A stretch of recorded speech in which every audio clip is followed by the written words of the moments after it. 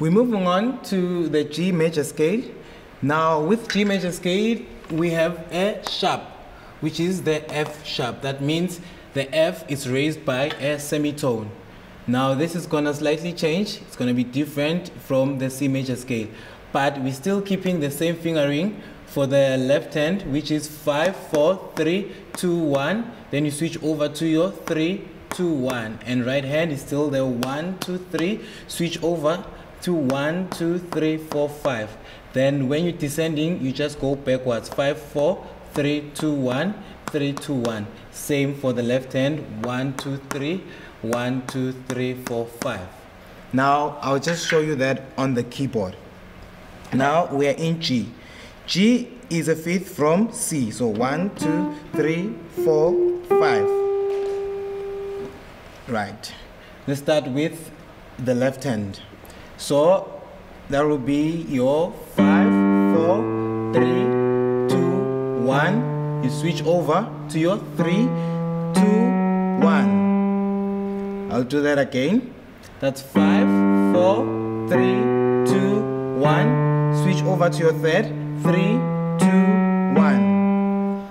Now with the right hand, we're starting with the one. So that's one, two, three, switch over.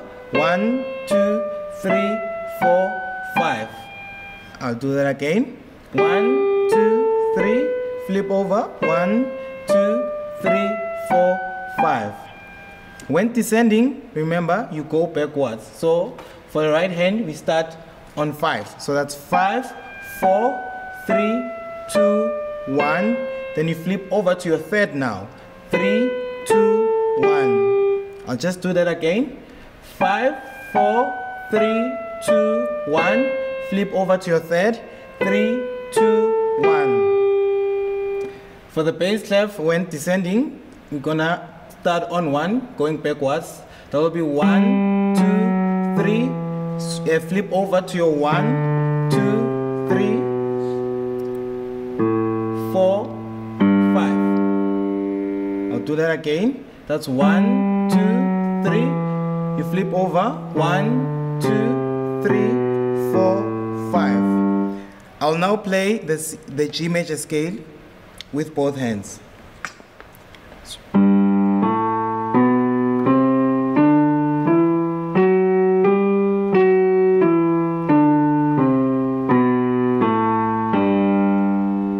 I'll play it again.